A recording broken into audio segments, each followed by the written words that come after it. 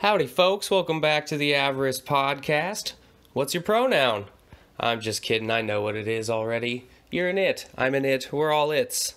So let's get to it and have some fun doing it and shit and stuff and things.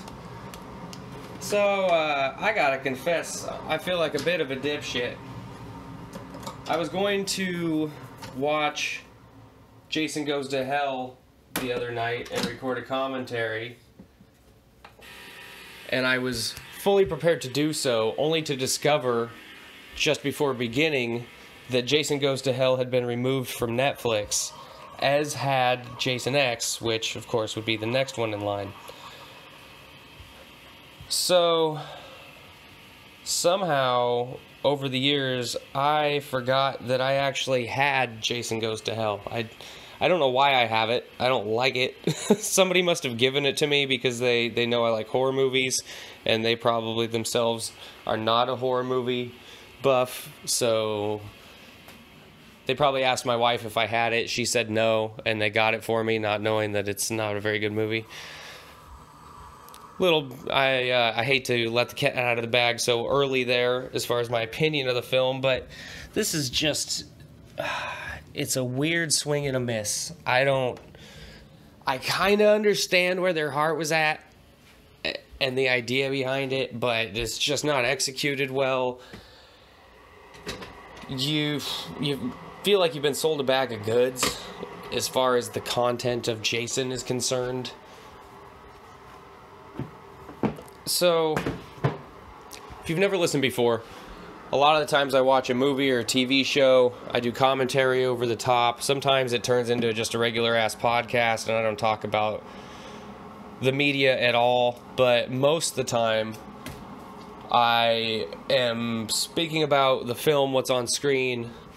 If it's something I have admiration for and a movie I actually like, I will usually have insight and uh, admiration use that word twice in one sentence. Allow myself to introduce myself.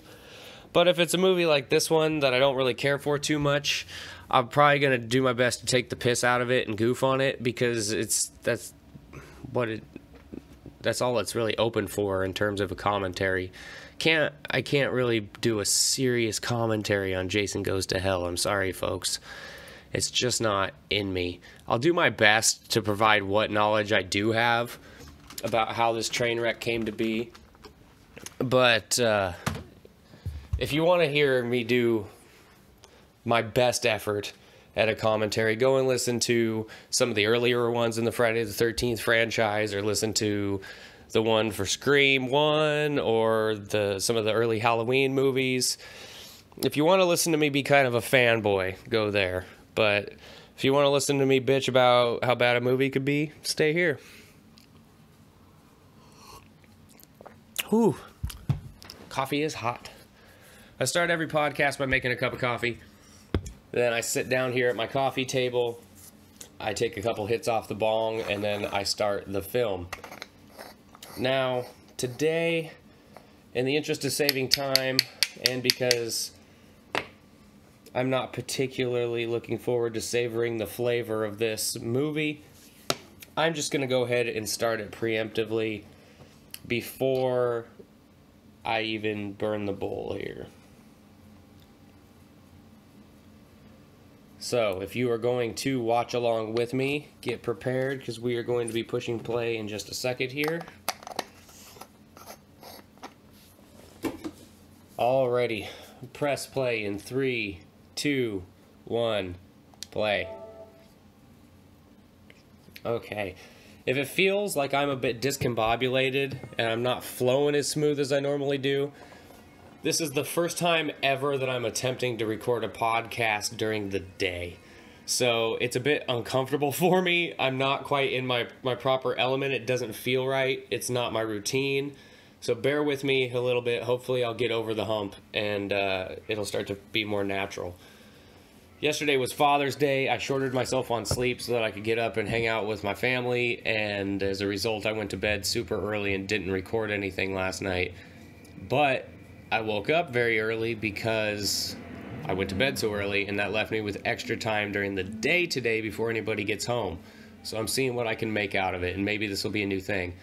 Plus, I had noticed that maybe recording at night wasn't the best thing because my brain was just not firing on all cylinders. My mind was exhausted from the day, and the words weren't coming very easily, even though at the beginning of this, let's be honest, they weren't coming that easily either and uh, I during the day my mind would be on fire with things I wanted to talk about, and the thoughts would be connected, and then I'd sit down to do the podcast, and just none of it would be available to me anymore. So maybe the answer to that is switching everything to the day, not staying up so late, getting up earlier, and just doing it all, packing it all into the day. One issue I'm already seeing with that is like what I've done with today. It's I've been going pretty much since I woke up and doing this podcast now makes it feel like I've just been doing shit all day. Whereas before, I would do shit for most of the day. I'd have kind of a break, eat dinner with my family, hang out with my wife, etc. And then at night, I would record the podcast, and it would kind of break it up and make it feel less like a marathon of work. But we'll see how it goes. One thing that they don't miss on in this is the nudity factor. We're going to get to see her tiggle bitties here coming up. I believe. I know there's definitely titties in this. We'll just suffice to say that. And I think they go like the the Terry route and and have like in just full nudity. I think you get to see that nice hip flesh that's always hidden. You know, that little bit of hip flesh that the panty strap covers, just that little hip flesh there. That forbidden area between the rib cage and the butt cheek. Just that little strip right there that you're, that you're not ever allowed to see or touch or lick or kiss. Excuse me for a minute. I'm to need some time.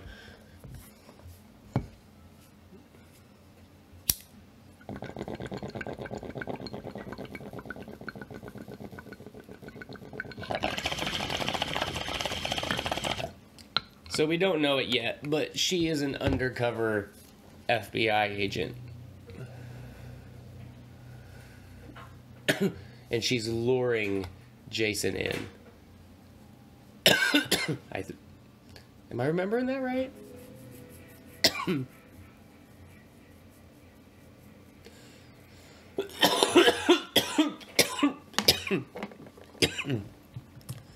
You just staying here for the weekend or what? There was not shit in that medicine cabinet.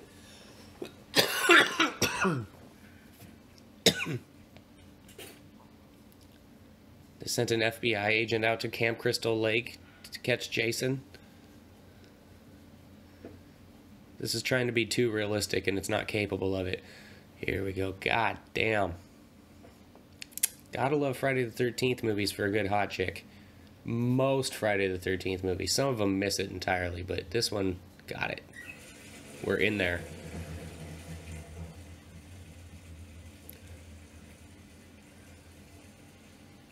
Think she's blonde now, oddly enough. Clearly not natural. Ayo! Aw, that's when you cut the power out, Jason? It couldn't be like 30 more seconds?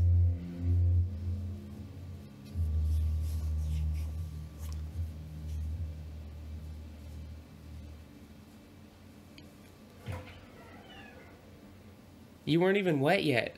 Put on clothes. You don't have like a pair of. Come on, I know you got a pair of sweatpants. You're a girl in a cabin by yourself. You've definitely brought sweatpants in a book.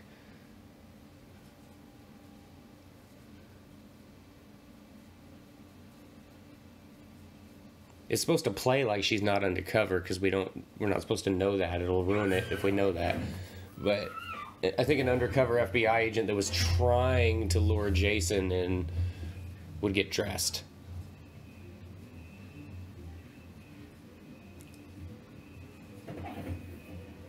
Damn, that was a hell of a hood slide, especially wearing that towel. what is this video game music? Like reminds me of a Super Mario Brothers level.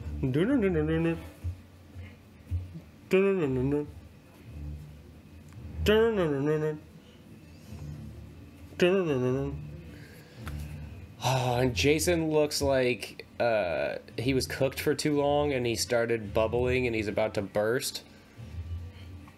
His head is like a hot dog that's been microwaved for too long, but not quite long enough that it explodes. It's just got that bubbly.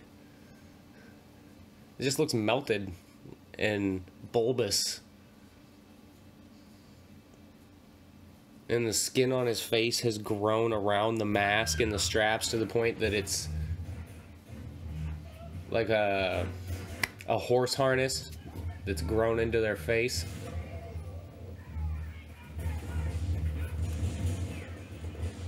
I don't even remember how the last movie ended. How did Jason Takes Manhattan? How did he die in that? I fuck. What happens at the end of Jason Takes Manhattan? Oh, the healthy sewage turns him into a little boy. Is that really the entire the end? I think it is. There's no continuity with these. Oh, half the movies add backstory without bothering to check if it's going to fuck with any of the other movies in the other canon. They're almost individual servings, really, they are. Like, trying to lace it all up into one story, which they really make an attempt to do here, but it's. fuck. So there's the subversion. They kill Jason right there, and he's dead for damn near all the movie. Danny Glover here is uh, got his best Undertaker impression going. I mean, like Undertaker the wrestler. So Danny Glover is trying not to be the Undertaker. They're gonna clean up the hot dog head Jason while his heart lay beating on the ground. No, it did just stop beating. Okay. So, basically, the reason that this movie comes to be, goddamn, that intro looks cheesy. We probably thought it was cool back then. I mean, it's just in retrospect, the computer graphics and shit were horrible. Of course, they had to go through that for them to be where that we have them today. It's a step process, but fuck, that was. Hey, it's Kane Hodder, not in the mask. What do I recognize this dude from? Oh, he's the Don King type character from Rocky 5. Yes! Yes! Tommy gun! Anyway, so Paramount washed their hands essentially of Friday the 13th movies after Jason Goes to Manhattan. Manhattan. It was critically a f- failure. It was box office wise a failure. So it ended up back in the hands of Sean Cunningham over at New Line. So Sean Cunningham was the creator of Friday the 13th. And he directed the the original. And Jason was never part of his lore in his movie. His movie was about a mother trying to get revenge for her dead son. So, although he gets credit for creating the franchise, I don't think that he was ever particularly a fan of the Jason idea and the and the whole Jason lore and the fact that Jason became the flagship of the franchise when his movie, The Originator, had nothing to do with that. And I don't think he liked the hockey mask too much either. So, one of his first orders of business when making this was to get the hockey mask out of there. He told the guy writing it, I don't care what you do, but get that goddamn hockey, hockey mask out of there. So the decision was made to kill Jason and make the movie more of like a body snatcher possession kind of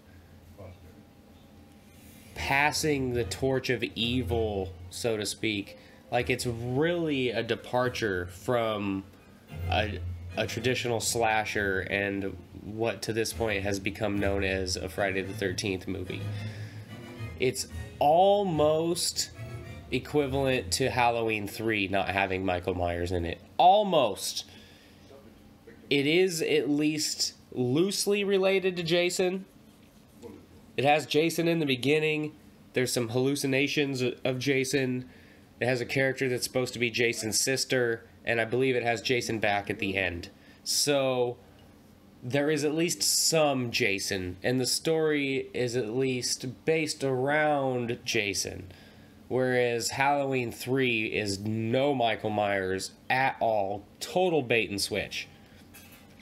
So it has to be held a little bit higher because of because at least it has Jason in it, but it's almost there. You're really robbing people of what they came to see. And the, that's why the the rewatchability is so low because it's not even really a Friday the 13th movie. So when you're sitting around thinking like, "Fuck, I, I think I want to watch a Jason movie or I want to watch Friday the 13th movie," you don't even really think of this one. At least I don't. Now I imagine that there is a minority who, for whom this is probably their favorite Friday the 13th. A ah, salute. Godspeed. Whatever. Much love. That's you're welcome to your opinion. I'm just sharing my opinion, and I don't really I don't like it. Then again, I don't really like many of them past five, four. Five is debatable. I can watch five. Five is passable for me because I don't get offended by the fact that it's not actually Jason. But um, I think four is probably the last unanimous good one. Like most people will say that four was the last good one, I would say.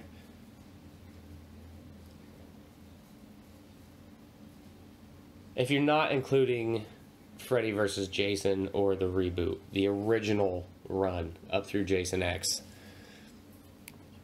So another thing, the reason that this is not Friday the 13th part 9 and that it's Jason goes to hell a final Friday is because Paramount still owned the rights to the name Friday the 13th, but New Line acquired the rights to Jason.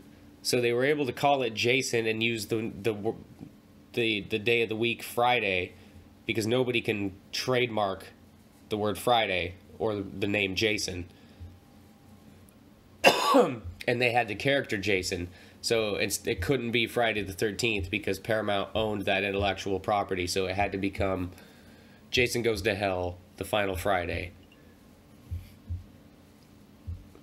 Which was the, for Jason X didn't come out until 2001, I think, and this is like 93 ish. So there was a long gap. It really was the final Friday in a way. Oh, I've buried the lead on. So the heart started beating, and I think he's gonna eat it, and then he becomes possessed with the spirit of Jason. I'm gonna have a hard time with this movie, I'm telling you folks, just straight out of the gate, this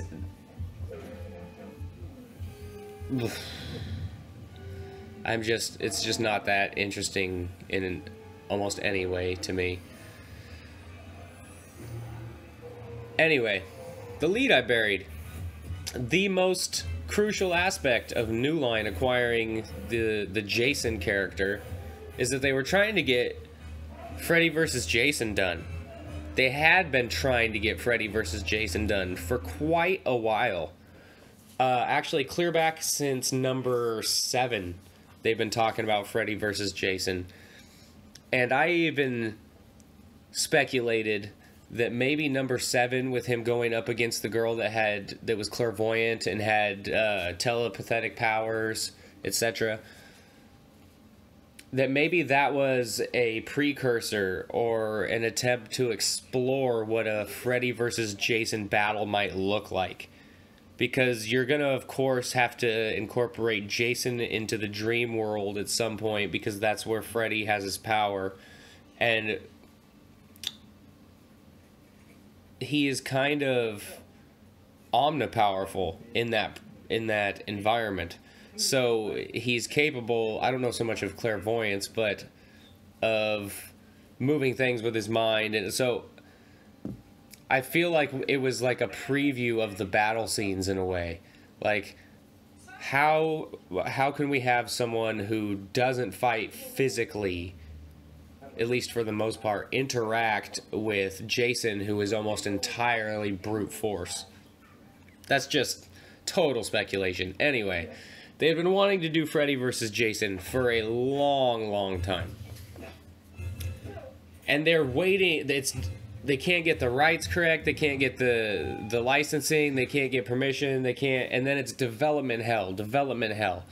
Because you're gonna tr- you're trying to make two camps of people who don't necessarily have the same ideals in mind happy with so you're trying to take Jason and make this a Jason movie simultaneously make it a Freddy movie and you're trying to appease both camps, maybe bring in some new fans at the same time, actually make it a worthwhile film. Because you're most likely not going to do multiple Freddy versus Jasons. Once you do one, it's basically run its course unless you wait a significant amount of time and do a remake and hope that nobody remembers. So they they decided to just make a a Jason movie or two while they were waiting for the development on Freddy versus Jason, and that's how we get this, and that's how we get Jason X.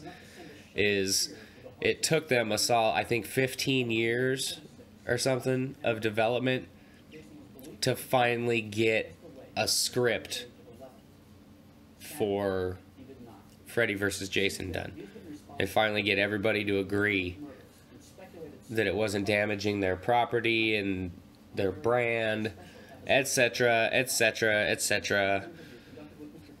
I understand because there's, there's a lot of value attached to those names, but we've also learned in horror that you can make some pretty large mistakes, and if you come back with a big enough pop or the right way, you can be larger than ever. I would say that uh, the Halloween franchise if it's not as popular right now as it's ever been, it's close.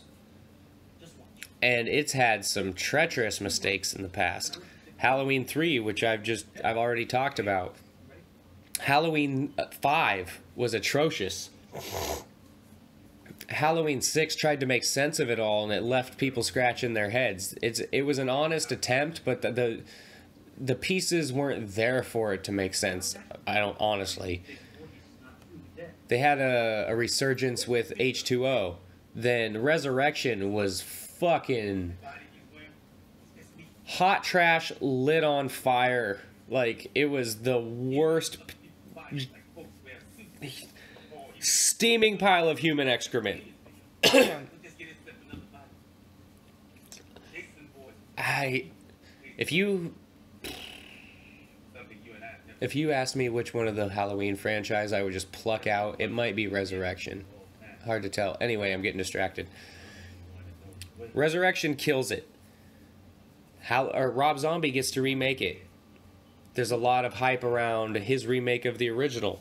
It comes out mixed reviews, but people are willing to give it a pass, even though it has some flaws. It's Halloween. We're starting over again, and we're heading in a fresh direction. Then he shit the bed with Halloween 2. Rob Zombie's Halloween 2, obviously. And killed it again. Now, they just had another strong entry with the 2008 Halloween film, bringing Jamie Lee Curtis back and essentially making what is effectively Halloween 3, what would have been the original Halloween 3. No, wait. It was a new Halloween 2. I take that back. Fuck. I think I've misspoke on another podcast once and said that. so they were they remade Halloween 2, the original sequel to Halloween. And that was a strong entry. It was a good it was a pretty good it was up there, probably in the top 3 or 4 in the franchise. People liked it and it generated a decent amount of hype. So you can recover from things. So I don't know if 15 years of development hell is worth what we got for for Freddy versus Jason. That's a lot of fucking hype to build up.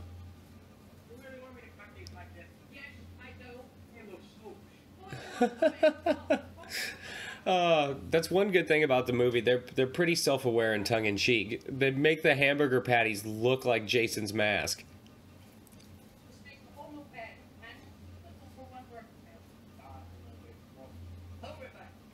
And so she can save me. Brilliant. I love it. It's a marketing strategy and a cost cutting tool. Guess who's going to win Employee of the Year? A Voorhees burger. Oh, that's supposed to be Jason's sister.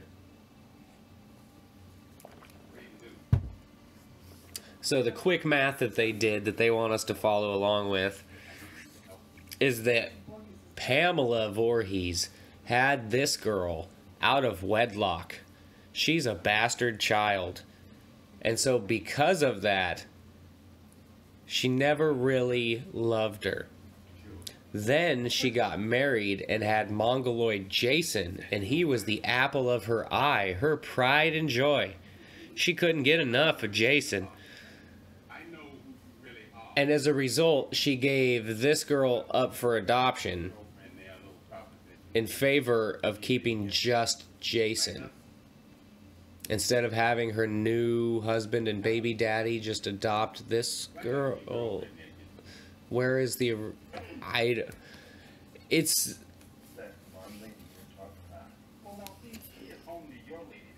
the the murkiness and the cloudiness of that story is par for the course with this franchise, folks. So I don't know why I even bother to try to parse it out. Oh, hey, the leading dude's back there.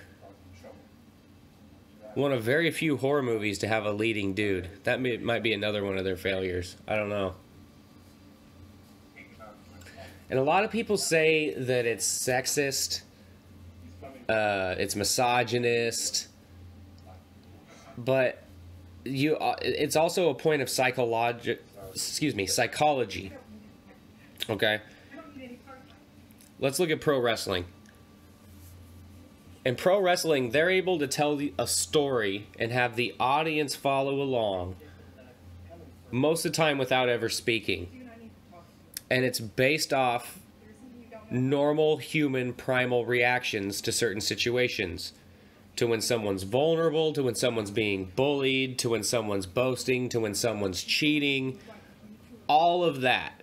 That's what they play on to get your emotions riled up, to make you root for a certain person.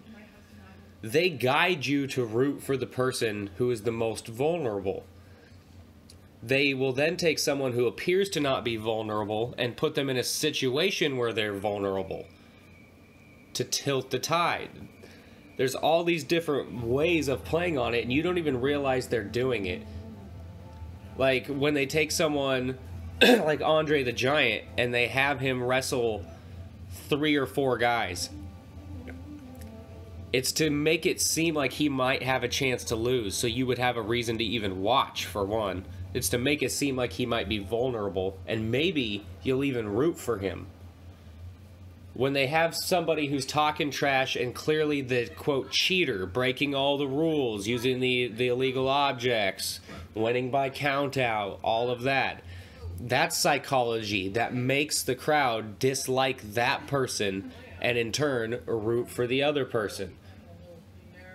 Sometimes they'll root for somebody just because they want to root against the other person. That's an option too. That's how heels work. You you set out to be hated, and that gives shine to whoever you go against. People will automatically root against you. Anyway, the reason I brought this all up when you have a female lead, no offense, ladies, you are more excuse me, you are more vulnerable to attack physically than a male lead. I know that we're talking about Jason and the difference between a male and a female trying to attack him physically is negligible. I get that. Either way, resistance would be futile. But I think psychologically, in the audience's mind, they have less time or they have a harder time believing believing the story when it's a guy now, you can call that sexist, but I just think that it's an issue of perceived vulnerability. I really think that's all it is. You hardly now. You could make the character. Let's say it's not male and female. You have uh, a character who's the female lead, but she's a badass. She's some Ronda Rousey, or she's a. Uh, she's proficient in all weapons, like Jamie Lee Curtis is in the new uh, Halloween 2018, right? Except for Jamie Lee Curtis isn't exactly the lead girl. She kind of is, but they use her granddaughter as more the vulnerable one, right? Do you see why the story can't be carried so much by a person who's as physically capable, etc., because you don't feel as sorry for them. You don't feel like it's as inevitable that Jason is going to get them in certain situations. I didn't mean to go on this whole spiel. That's just kind of my take on it. I think that there are situations where maybe they go a little farther than they should in terms of the exploitation, but the girls also all knew what they signed up for and were willing to do it for the money. And if they didn't, another woman would have. That's kind of the problem with that movement, so to speak, is that half you have a lot of like you have like half the women bitching that certain stuff is exploitation or turning women into objects and then the other half are perfectly willing to feed into that by acting that way because it benefits them. So until they can all get on the same page it's kind of defeating itself. The, the argument doesn't go anywhere for me. Does that make any sense either? Daytime high. Me.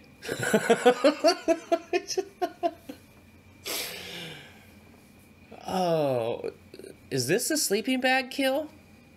I was talking right through a, a, decent set of titties there. I'm sorry. As we were talking about the, the feminism and the, the exploitation. Is he getting blown in the tent? Oh, this scene was added in, I'm pretty sure. I think this was shot in post if I don't if I'm not mistaken. I could be wrong. It's hard to remember. Even when I try to absorb information about movies, if it's not a movie I actually care about, I can't even really absorb like I just it, my brain just sends out a don't care hormone. I don't know what it is.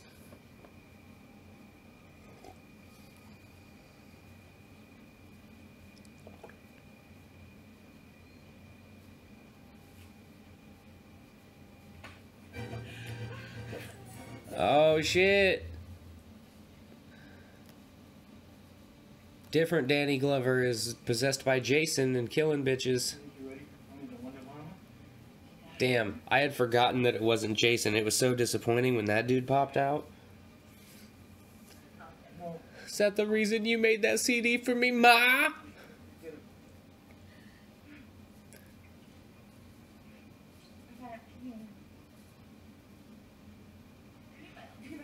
if I'm not mistaken, these two dated and broke up like two weeks before they had to film this. So they had to be naked and film a love scene with their exes very shortly after breaking up with a bunch of people around watching.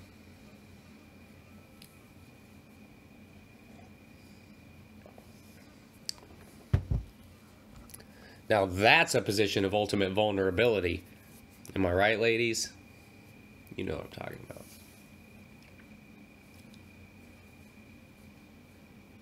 That's actually a weird difference between my wife and I.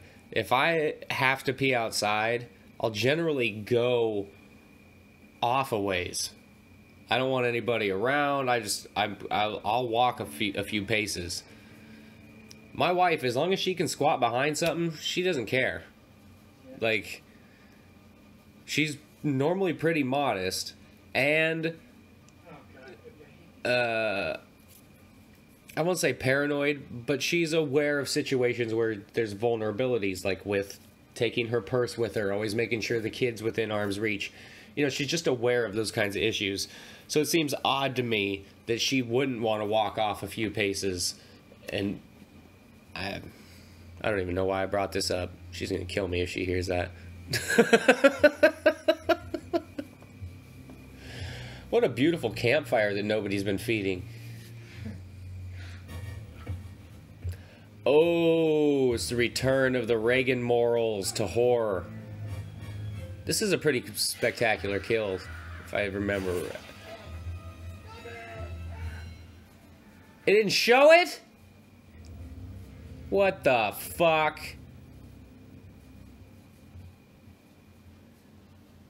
He stabs her with the, the post of the sign. It comes from her back through her front and stabs out and then he lifts it up and it splits her in half down the center of her torso. If it's not in the movie, how did I see it? I know I've seen that before. What the fuck? So they they add, they shot some stuff in post to make it have more kills and be gorier. Then they removed those because they were too gory. Y'all motherfuckers.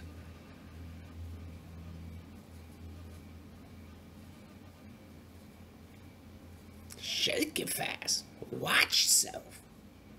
Show me what you're working with. You know, if you're wandering into a situation that you fear might be dangerous, it makes it less dangerous if you go slower. The danger goes away if you go slower. It's one I never understand that about human nature. Oh, I'm worried that this might be dangerous. I'm scared. I'm gonna make it take two, three times as long. Get the shit over with. Hustle. Run over there and dump that shit. Run back. Speaking of vulnerability, you're only in the vortex for a very small amount of time. It's like when I'm driving and I see some weird fuckery going on, I just get the fuck out of there. I don't stop and wait for everything to clear out. I clear out. I get out of the way of any possible danger. I'm the window of time where anybody can hit me becomes smaller that way. Does that make sense? I'm allowing less opportunity for other people's fuck ups to be an issue. I'm just getting away from them.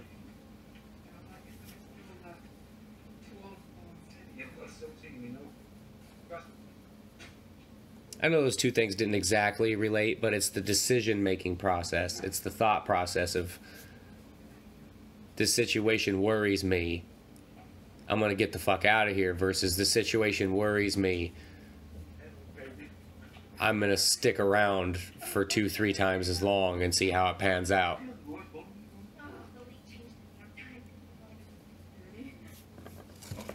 I don't have a goddamn clue what's going on in this movie, except for that guy's Jason, and he's gonna kill some people, and the girl and the that worked at the restaurant's his sister. Oh shit!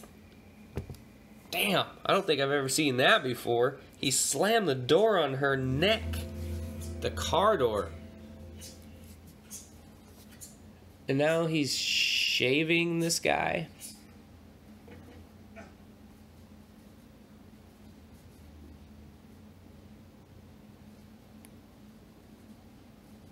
And I think the director put this in here. Let's be honest, because he's not the most masculine fellow in the world. And he's trying to get laid. And he's trying to go against the stereotype of like the exploit exploiting women, you know, go with that kind of feminism movement and work as many compromising situations for men in as possible to kind of even it out. He wanted as many naked men as there were naked women. Um, I don't know. I maybe it's I just never come at it from that direction. I don't look at this scene and go, "Oh my god, look at what they're making this guy do," or "Look what they're making this girl do." I look at it as a story and their characters in a story. And if one of them is doing something to the other one, it's it's part of the character development in the story or and to pretend that there's not a ton of actions that the that are done in movies like this that have no relation to the story that's because they're not that good of stories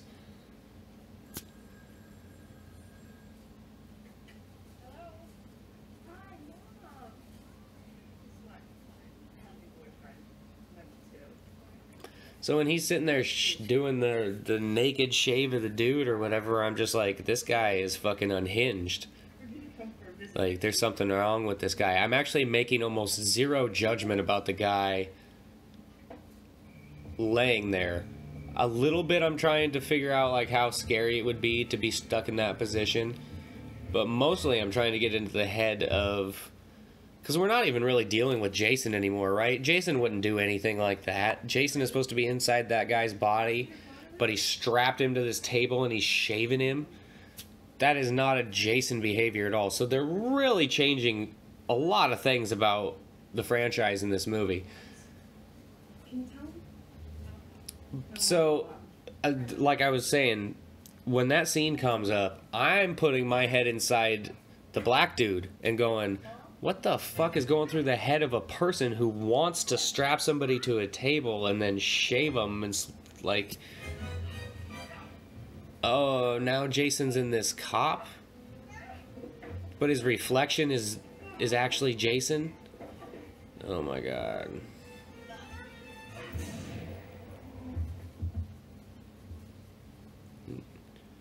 She blew his brains out. That's good Stop, drop, and roll. That's also good. 37 minutes and 35 seconds into the movie. 50 minutes left. That's also good. Doing the bull dance, feeling the flow. Working it. Working it.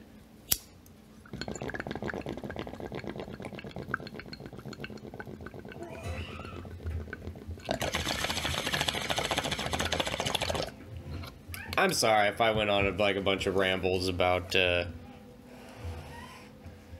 feminism and all that shit. I just feel like too often people try to turn shit into a battle of the sexes when it doesn't need be. And they try to rally behind certain causes unnecessarily.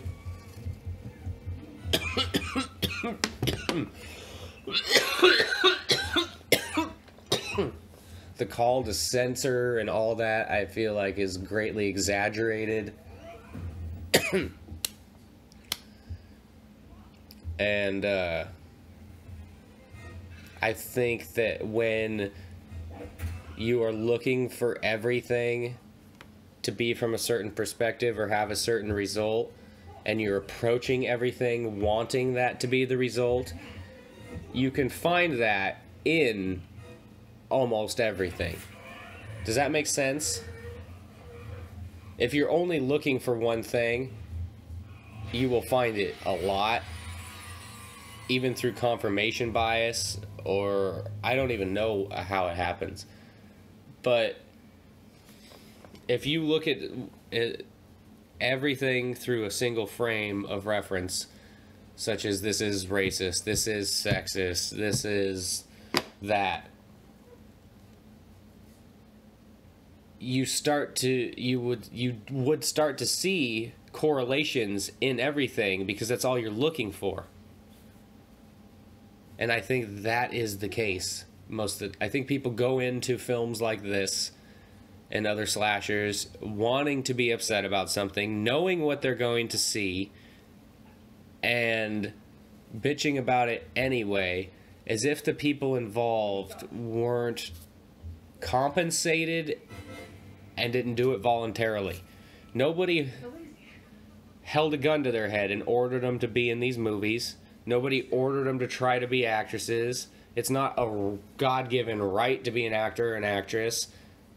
Like, I don't see who the victim is. I don't see what what you're trying to accomplish by bitching about nudity in horror films or the fact that the the lead is always a female or any of that.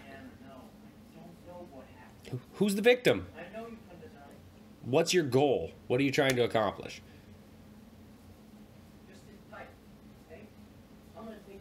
I guess occasionally they do do things without consent, there's a scene in this where Jason the the the total recall alien creature whatever the fuck we're dealing with that is the spirit of Jason in this film he go he shoots up in his sister's pussy and they did that digitally in post and she had they didn't even ask her permission. She had no idea. That's a weird issue because she obviously gave their permission to shoot her and she did the scene.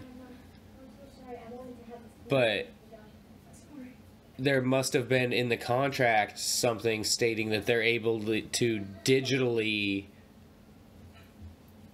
change it in post any way they want or I wonder if they have developed agreements related to that now that maybe didn't exist then because of issues like that.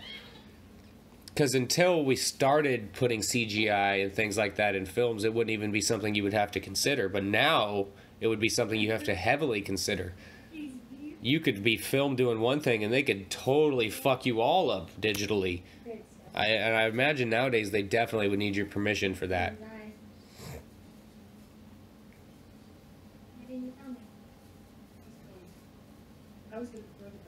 Who the fuck are these two? I saw the blood stain on the rug.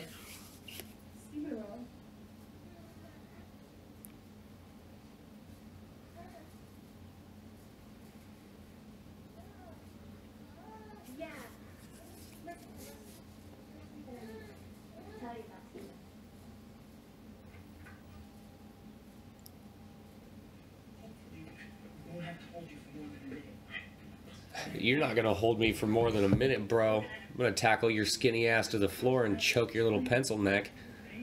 I got a Letterman's jacket on. Did you see that? You see the hat? Who the fuck is... I don't know what's going on. I, I know who he was. Kind of.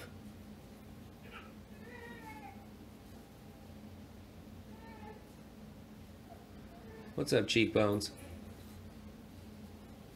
You got some bloody ass pants.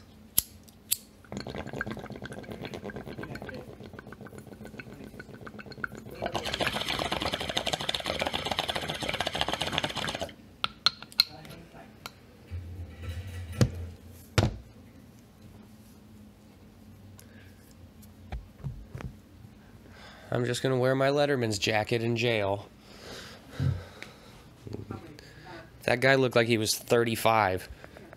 He's either cast as somebody much younger, which is ridiculous, or he's 35 and still wearing his high school Letterman jacket, which is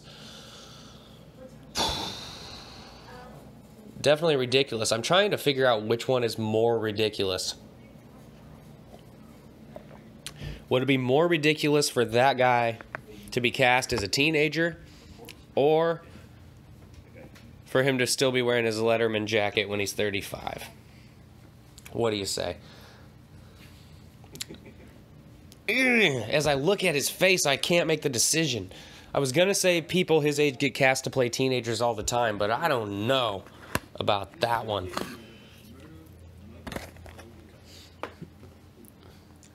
Freddie Prinze Jr. and She's All That comes to mind. He was like 20 fucking 8 in that movie. Or I Know What You Did Last Summer. It's all, you know, 30 year olds playing 18 year olds in movies made for 15 year olds. That's the formula.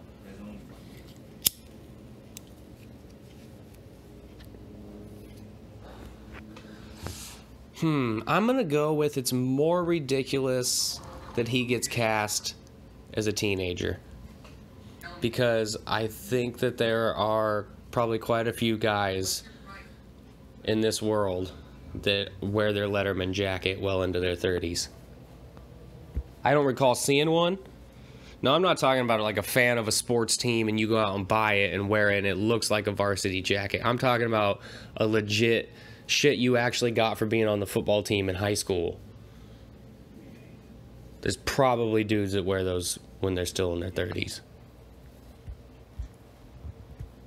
Or wear those well into their 30s, I mean. Fuck, if I had gotten one in high school, I might still have it. I don't know if I'd wear it, but I have clothes that I had when I was in high school. Not a lot of them, mostly hats, jackets. I take care of shit. I like it to last. That's probably a growing up broke thing. There's a there was a line in a G Unit song. I think it was Lloyd Banks, and he said, "When you're broke, you can't afford to fuck your sneakers up," and that is the motherfucking truth. 100. so you learn, you get something nice. Let's take care of that shit. You want it to be nice for long, and then you learn that if you take care of it, it can be nice for a long time, damn near brand new, for years. And then you start to grow a collection of shit you've been taking care of, and you're good. It's like you're set. And then if something falls out of the mix, you can replace it, and you still got a bunch of shit that looks like it's brand new because you've been taking care of it. And then you you set aside a few things that are raggedy for working in the yard or on cars, going to the gym, you know, shit that's meant to be beat up.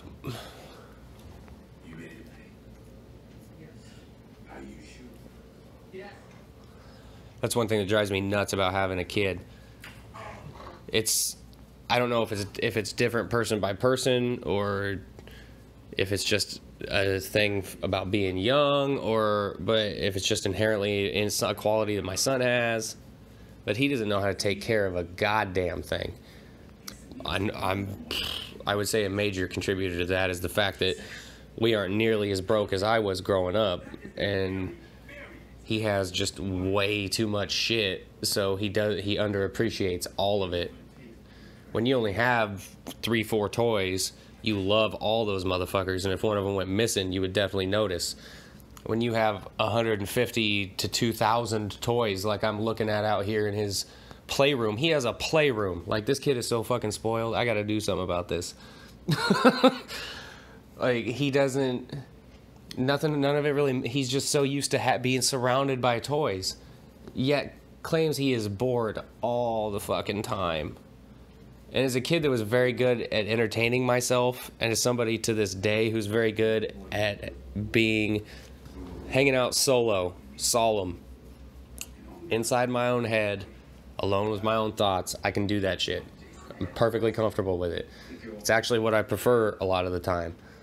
So for him to just constantly be like, I need do this, do this, do this. What can we? I got a question. Come play. Come. It's Bro, can you just be a little bit more like me once in a while and just keep yourself entertained? Don't you want to just kind of like hide off in the corner and play with your action figures? So that's what I would have wanted to do.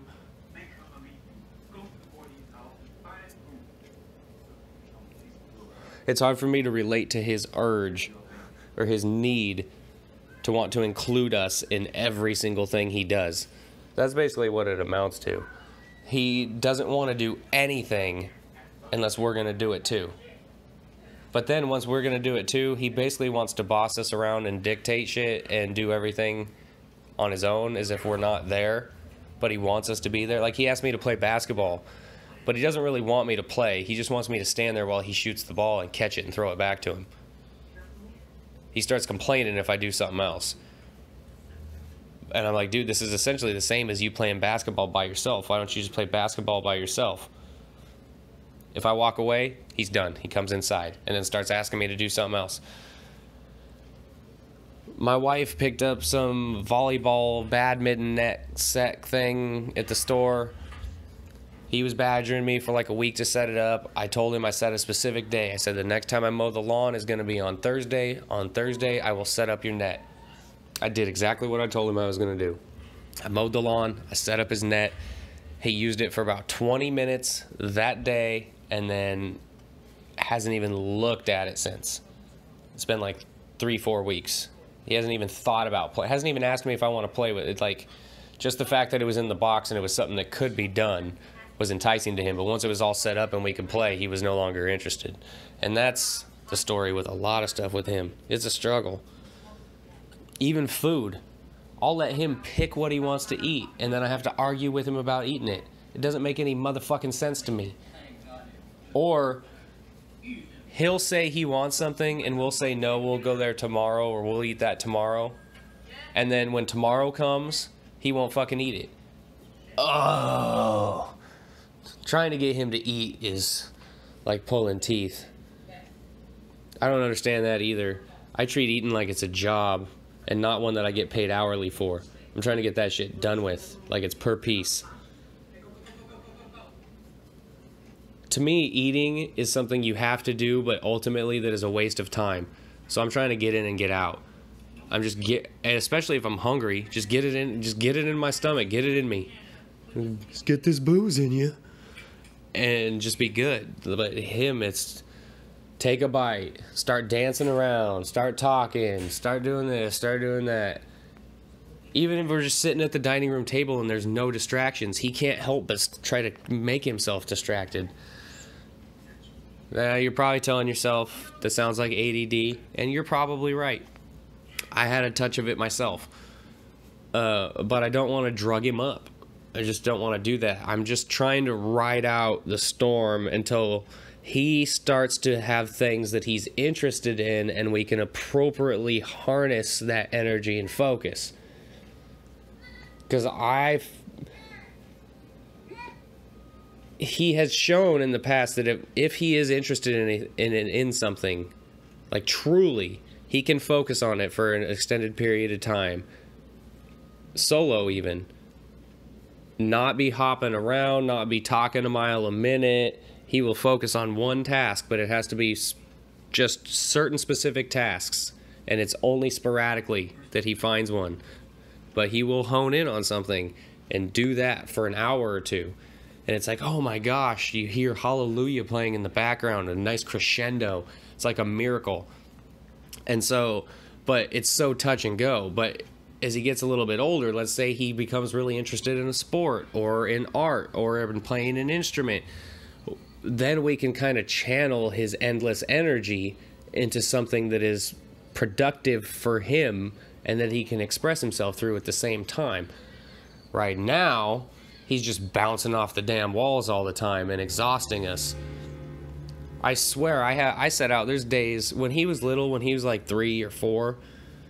I could set out to exhaust him, like, okay, here's going to be the plan. We're going to do this, we're going to do that, we're going to do that, and his little legs aren't going to be able to keep up. And by the time we're home, he's going to fall asleep in the car, and and he's going to be exhausted for the day, and it would work. And now that he is almost six, shit doesn't work anymore. He's just got an endless battery. I cannot run him out of energy. So what happens is, it gets to be the evening time and all I want to do is sit down and he's still going and that's when I don't have patience for it. I'm like, "Man, can you just you can sit out here with me and watch a movie or something, but can you just calm down, please?"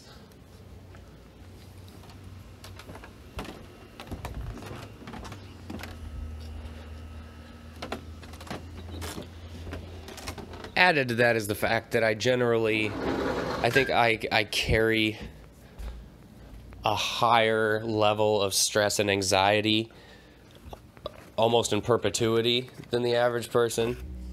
I'm just always at kind of this heightened, anxious, stressed out level. And uh, I know you can't tell by the calmness in my voice. Smooth silk that you hear caressing your eardrums right now. But just it, it comes and goes, but for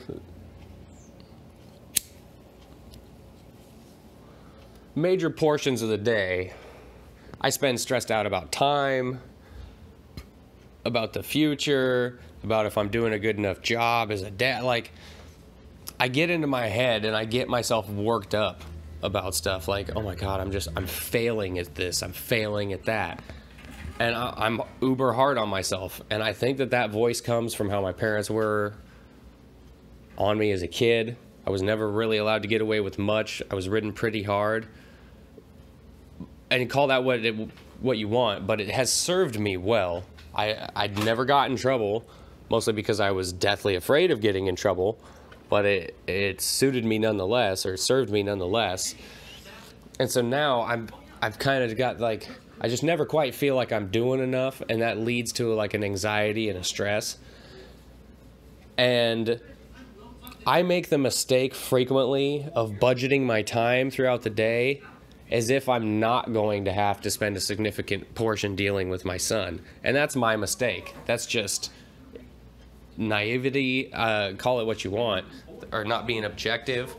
But realistically, I have to look at the situation and say there's going to be significant chunks of the day where I can't reliably count on doing anything work related or productive this time has just got to be set aside to interact with the family. And that's something that I've had to get better at. I've gone through kind of stages in this learning process of being a husband, being a dad, learning what that's all about. Mean, when I first found out I had, I had a kid, it was just make money. That was it. Just, I have to support this family. That has to be the main thing. I have to make sure that they don't need anything. We're not going to starve. We are going to have a place to, to live. He's going to have clothes. He's going to have like all that kind of shit's running. Like that has to be secured. So from that point forward, that became like my main. It was everything in the name of making money to support the family. And it got to a point where I realized, okay, now I'm I'm almost focusing on this too much to the detriment of the family. Like maybe I've got to reel it in a little bit and not worry so much about supporting the family and actually just enjoy the fact that there is a family because he's already almost six like i, don't want to spend his entire childhood busting my ass and then oh i got money saved up i'm ready to relax and he's gone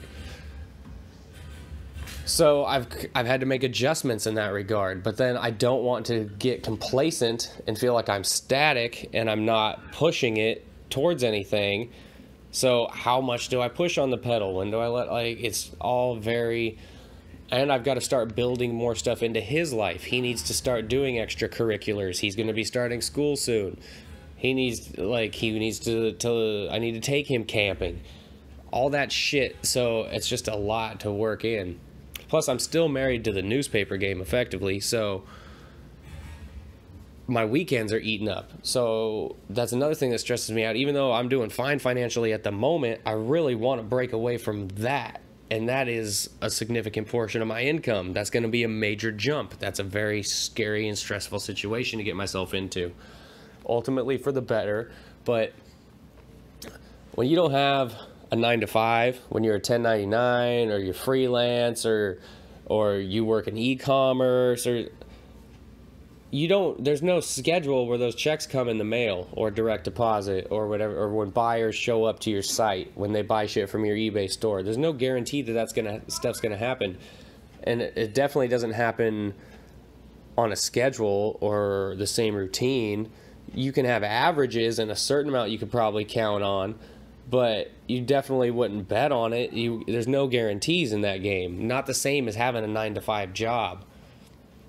So there's a lot more risk associated with that and it's a lot scarier of a situation to get involved in because then even, if it feels like it's going well now, how secure are you for 6 months from now? And if it all goes downhill, how long can you support yourself until you figure out the next thing? It's all the questions we have to ask ourselves. Is this even a movie commentary anymore? I'm sorry, guys. I decided to come over to the patio door and smoke a cigarette. I haven't looked at the TV in 15 or 20 minutes. Um, yeah.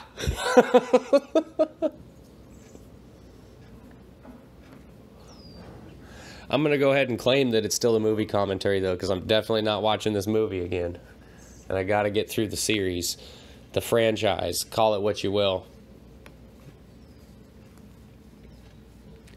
I think there's like Jason, he possessed some people and he like killed some people and then he possessed a different person, killed a different person.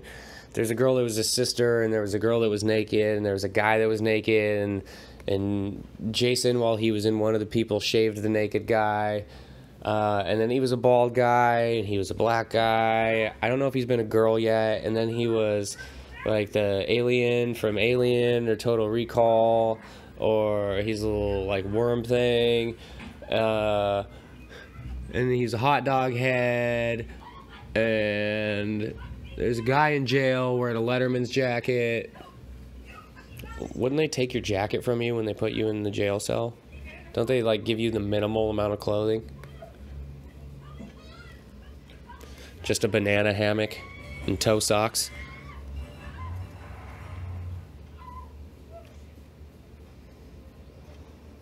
Grape smugglers.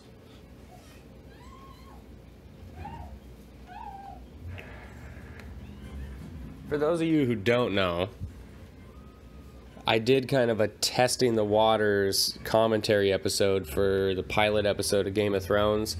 I was kind of interested in going back and seeing if I could explore some of the details of the show I might missed, put together some pieces that maybe I didn't even know were there, maybe make a little bit more sense of the the disaster of an ending, but just kind of soak it all in again back when it was great.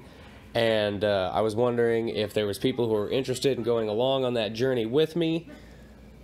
To this point, the answer is not at all but it also doesn't make it into the same realm as my movie commentaries. It's not in the same playlists, etc.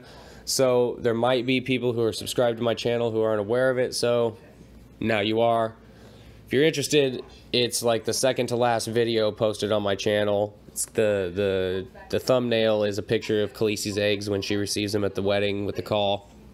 Anyhow, these two are talking, and it is very impactful. It is profound. It is groundbreaking. I guess uh, they just forgot about Jason.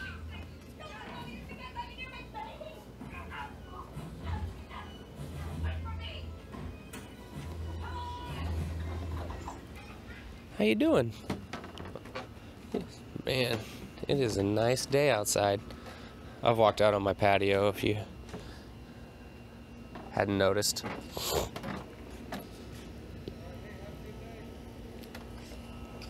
It's so weird recording one of these during the day. Maybe that's why I'm having less or uh, more trouble focusing on the movie itself is because it's middle of the day and I'm just not used to doing this. Come on, Mary Jane. My pit bull is almost 10 years old and she has hip dysplasia, so it takes her a minute to get inside. Good girl. Are you a good girl? Yeah. That's a sad conversation I don't want to have at the moment.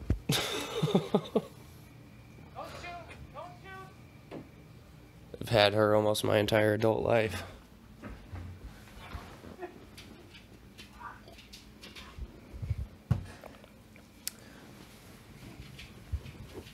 Damn, cop just mollywopped him. Oof. That's why he's wearing the Letterman jacket. So we know he's a football player. And when he does that spectacular tackle, we can connect the dots and it makes sense. We're like, oh, that's why he's got like a Bill Goldberg level spear. He's wearing a Letterman jacket. He's clearly a varsity football player. I can buy it.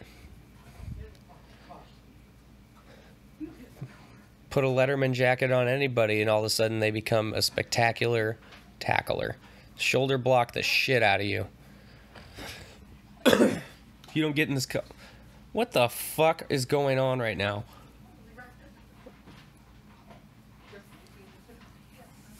Are these guys supposed to be twins or something? That's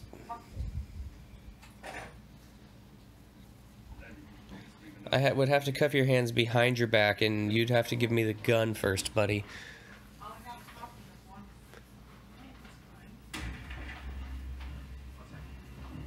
Had enough of these motherfucking Jasons in this motherfucking police station.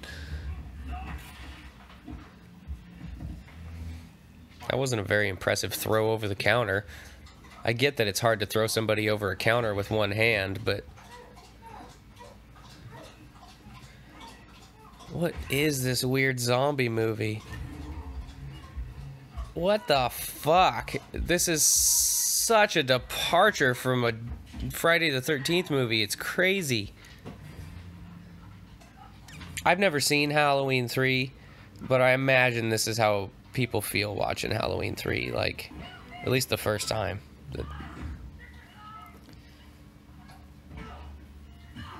How did I.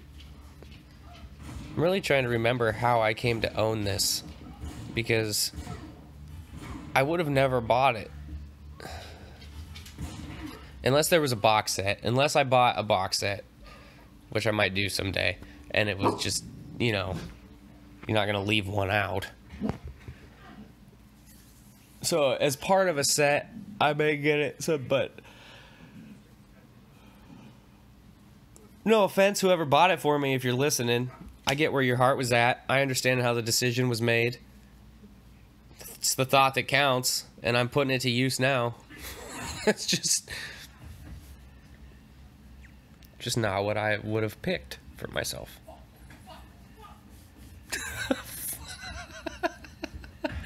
fuck, fuck, fuck. Oh shit, Apollo Creed dressed like a cowboy.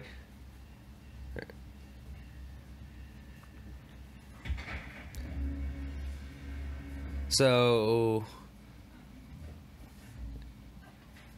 is Don King already dead? We're not going to get a Don King versus Danny Glover, aka Apollo Creed, aka Carl Weathers showdown.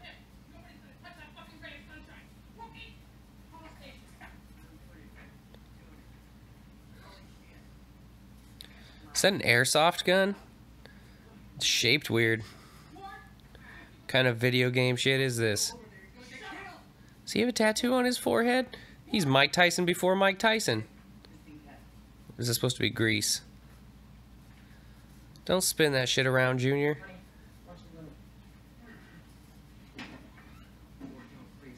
He was way off to the side. He wasn't going to shoot his dick. He would have shot himself in the thigh. Oh, this fucking asshole. He's never shot a gun in his life. Looks like he's never held one before either.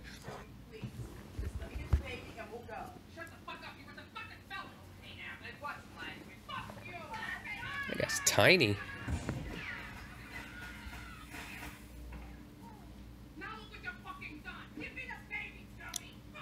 We started the rave. Turn the strobe lights on. Where's the EDM? Ow, ow, ow, ow, ow, ow, ow, ow, ow, ow, ow, ow, ow, ow, ow, ow, ow, ow.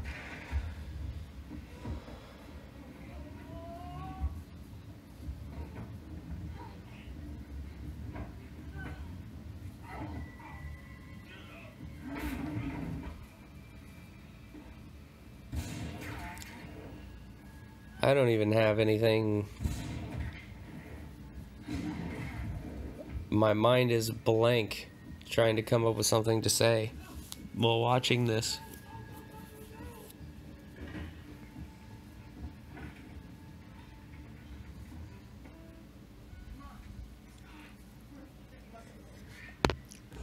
I should address that while Sean Cunningham did not, he asked that the hockey mask be removed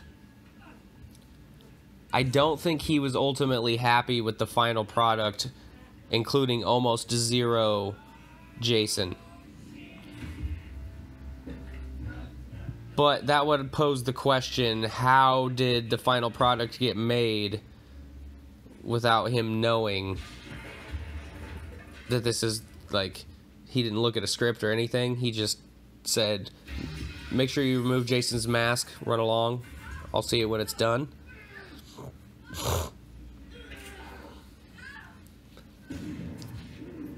Returning the franchise back to the original creator, you would think would be the best thing you could do to rejuvenate the franchise. You would think that you would be returning to the glory days of the old and that he would really have some fresh ideas for how to take this thing. And instead, you get this. Like, I imagine there was people, like real fans, who were like, oh my god, Sean Cunningham is back, and they're doing Jason Goes to Hell. It's back in the creator's hands. They're gonna do this right. This is gonna be amazing. Plus, there was actually a gap finally between Jason Takes Manhattan and this. There's four years. At least a little bit of time for an appetite to build for people instead of getting them year after year after year after year like before.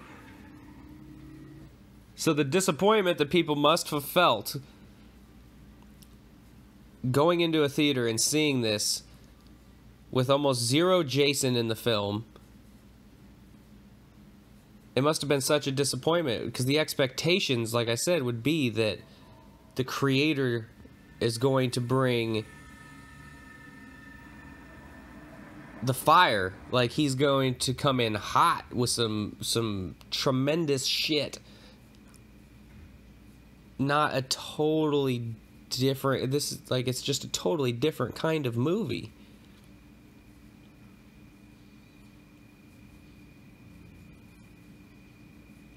And I gave a whole long spiel earlier about how you can recover from bad movies and franchises. This is a hard one. Because this one comes nine movies deep. This really is the end uh, of this timeline. I maybe Jason X is supposed to occur along the same quote life of Jason, and I guess Freddy versus Jason is supposed to occur somewhere in there as well, but there's really no attempt to follow up on this in any type of direct fashion. And this isn't even really an attempt to follow up on Jason Takes Manhattan in any direct way. One, they didn't have the rights. They kind of have to start out of the blue. They don't get to refer to any of that old footage or any of that shit. So they can't really acknowledge the ending in that way. They could pick up from there without acknowledging it. That would be a little bit difficult to deal with. Uh, and possibly they might get in trouble for infringing upon the copyright of the original movie. I'm not sure how that works. Not the original of Jason Takes Manhattan.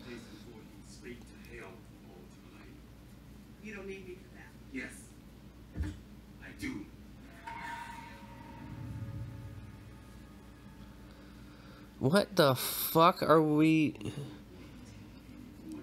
This is reminding me of the Friday the 13th TV series. It's just like stuff is possessed or has a crazy story and is magic and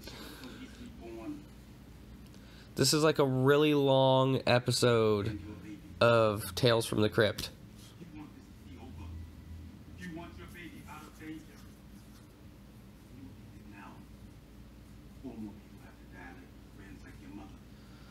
He reminds me of Danny Glover in Switchback.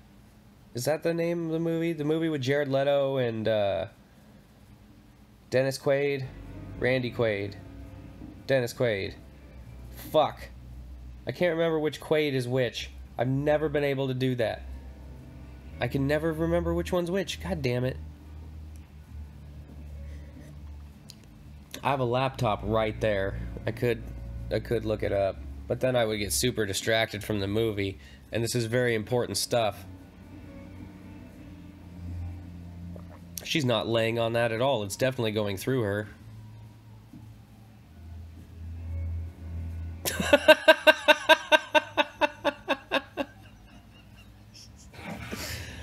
it's, so clearly just laying on the floor.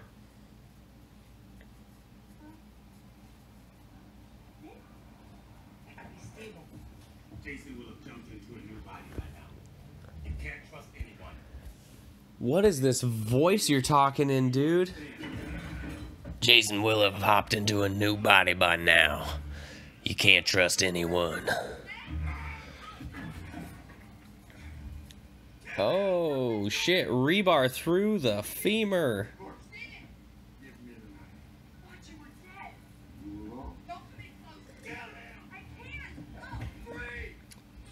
And when Jason goes into these people's bodies, he can talk.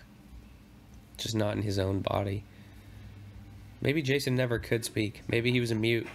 That's why nobody heard him when he was drowning. That might be a major piece to the puzzle I just discovered. Is Jason a mute? Muted in color.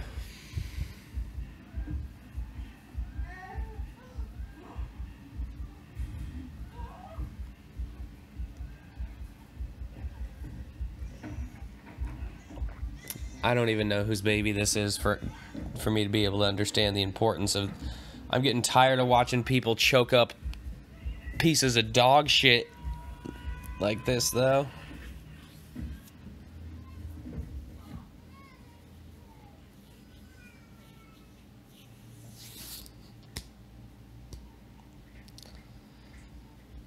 What in the fuck?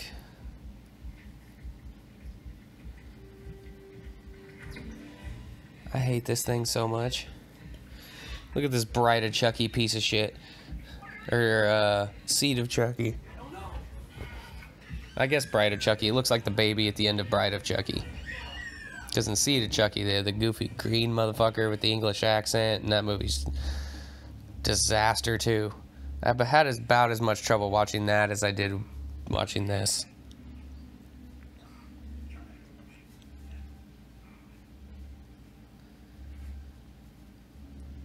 Julia Carpenter? Is that supposed to be a John Carpenter reference? What's funny is before I set out doing movie commentaries and reviews, that part right there where the thing runs into her vag, she didn't know that that was going to be on there until she saw it in theaters. Fuck, what was I talking about before that? Oh, before I started doing movie commentaries and reviews, I really wouldn't have had such strong opinions about what is the worst movie in a given franchise, what is the best movie. Whereas I do more so now. I really have it like divided up in my head. And I don't know if that makes it easier or harder to rewatch them in the future because now I'm just gonna think, oh, like, well, these are the best couple. Why don't I just watch one of these? And I'm gonna ignore the other ones. Maybe that's better for me. Why do I subject myself to such torture?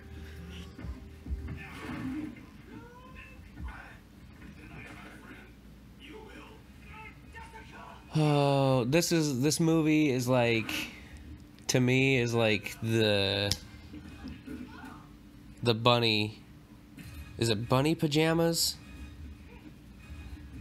that Ralphie gets in a Christmas story and he's told he has to wear them when whoever comes to visit that gave it to him like the reason that I probably still have this movie in my collection at all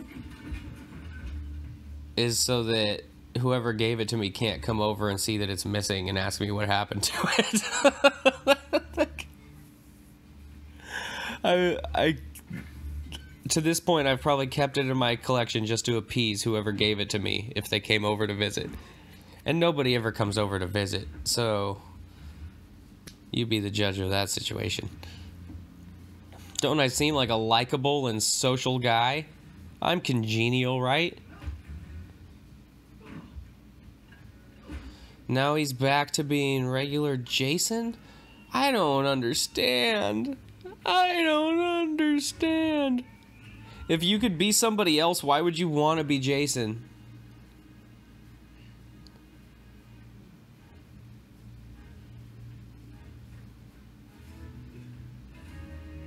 Talk about having no self-awareness. Or I guess not giving a fuck. He'd rather look like that than than look like anybody else.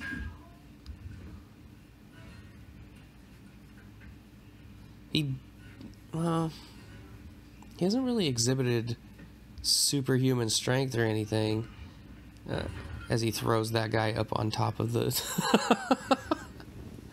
what is it? Are they in a playground? Oh. Been scared of that my entire life. Well, at least on Tuesdays.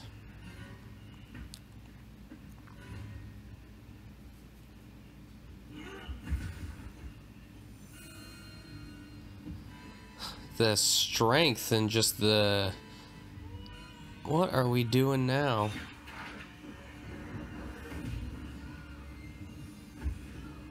She got him with King Arthur's magic sword.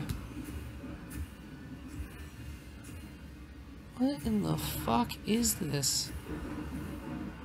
Now he's a Roman candle? What the fuck am I watching?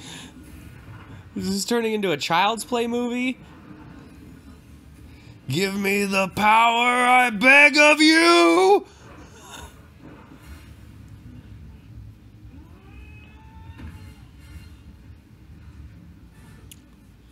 Get him, Kenny. This guy's a knucklehead. Punching technique's terrible. Oh, sidekick. In more ways than one. She was Letterman Jacket's sidekick, and she fully penetrated Jesse, Jesse Jason's torso with a sidekick to the handle of the dagger. Now, what the fuck are these weird, huge hands? Oh my god, this doesn't make sense at all.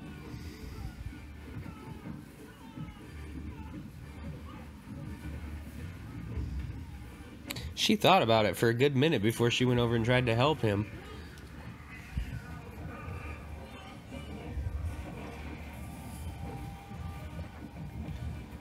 Bruh. Why are my hands so huge?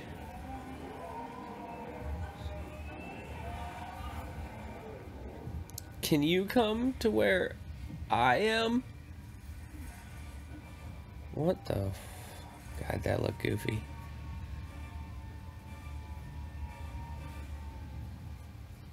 You see what I mean about the CGI back then? We were just barely figuring it out, and it was pretty tacky looking.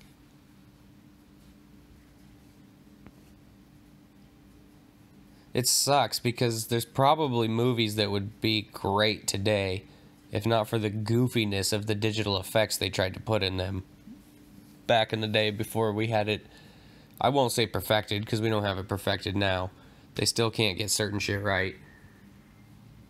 And I'm wondering how much of that is based on budget. Like if a movie had unlimited budget to really try and figure out every little aspect of their CGI and get it 100% accurate, how well could they do?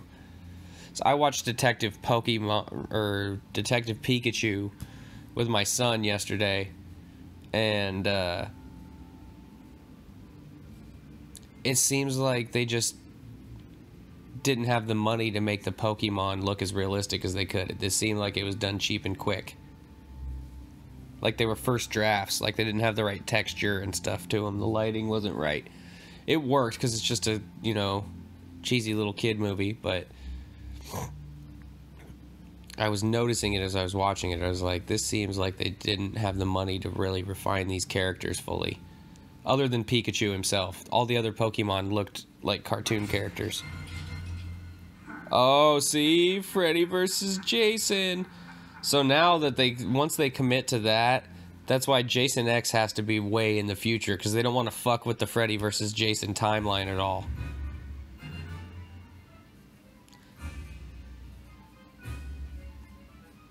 So after all that, it was the dagger to the chest that finally sent Jason to hell. I'm still not fully sure what I just watched, what just happened. Kane Hodder listed twice because he played two roles. Did he get paid twice? Listed three times now. I've seen Kane Hodder's name on this thing three times. He gets paid once per listing, right? That's how I'd want it to be. I'd negotiate that in my contract. Each time my name appears in the credits, I get paid my salary once. All right, folks. That's going to wrap it up for this half assed commentary on Jason Goes to Hell. I apologize if you were looking forward to me talking about the movie more or at all, because I really didn't. Um, I just couldn't get into it. It's just uh, not one of my favorites in any way, shape, or form. And uh, I got sidetracked on several different tangents, and I just went with it. I, I started doing the movie commentaries mostly as a way to give me something to talk about and give me a direction to go with my thoughts, or at least something to think about eh, to in turn turn into verbiage to put on track. So when I kind of get in a groove and I start feeling something and I just start talking about it, I'll just go with the flow sometimes to kind of exercise that muscle and get used to that so as someday I may not be so reliant on doing movie commentaries when doing a podcast and I may be able to just sit down and riff and talk about certain subjects and move from one to the other and I'll be more comfortable doing so because of ones like this where I get off track. I appreciate you guys sticking through that. Like, share, subscribe, all that good shit. Check me out. Just type Avarice Podcast into Instagram, YouTube, Facebook, SoundCloud, iTunes, Google it, whatever the fuck. Until the next time, this is Devin signing off and saying, be easy.